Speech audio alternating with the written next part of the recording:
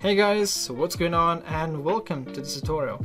So in this tutorial we're going to take a look at how to change the size of your canvas.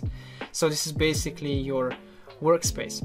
So there are two things that we need to consider first. So one is are we going to increase the size of the canvas or are we going to decrease the size of the canvas? So if we're going to increase then head to the image, go to canvas and then here you have your current width and your current height. Let's say I want to set this to 4 and I want to set this to 3. So this way we're increasing the size.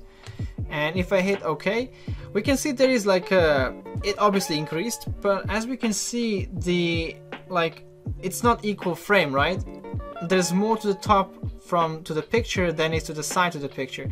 So what do we want to do in this case is, let's say we want an equal frame. So I'm just gonna hit Control Z in this case and I'm gonna go back to image, I'm gonna go back to canvas size and there is a little box called relative which basically sets everything to zero and if I set this to one and this to one both on the top on the both sides and on the bottom the distance from the picture and the canvas size is going to be one inch. And if I click hit OK obviously you can also have to anchor to the middle otherwise this will not produce the same effect. So as we can take a look there is one inch to the side and one inch to the bottom and top which is perfect. This is exactly what we wanted. So if you're trying to create a frame that would be the case.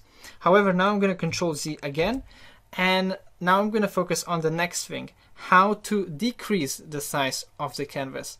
Well, there are two ways. So obviously the first one is if you go to the canvas size again, and if you unclick this relative, uh, we can actually, you know, if currently is 3.3 and 2 by 2, we're going to go below this number. So we're going to put something like 2.5 and currently is 2.2, we're going to go 1.5.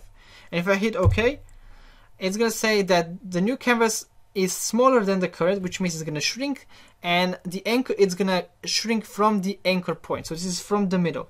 And if I click proceed, this is this is the result we're to get. So from the middle, it shrink to the inside. Okay.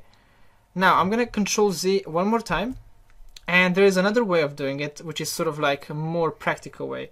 On the left side of your menus, menu tools, you have crop tool. You can click on that and you can just drag whatever you want to say. For example, I want to have doors in my picture, but I don't want to have this like the red sort of like wall on the sides. It just, you know, I don't want that. Plus, I don't want to have that, you know, cemented, uh, you know, ground. So I'll try to crop as much as possible. And you can only crop um, uh, rectangles, unfortunately. There is no other option.